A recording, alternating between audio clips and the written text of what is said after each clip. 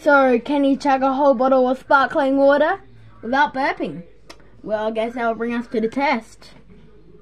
So, let's do this, guys.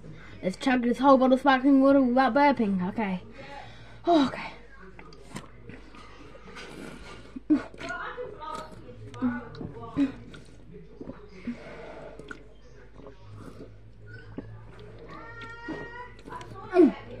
So I said,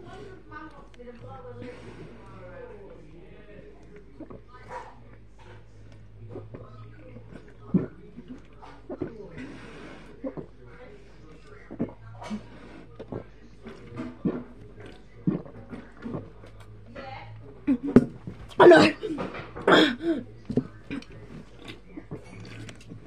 What did I do? I don't know what to do. Now breathe.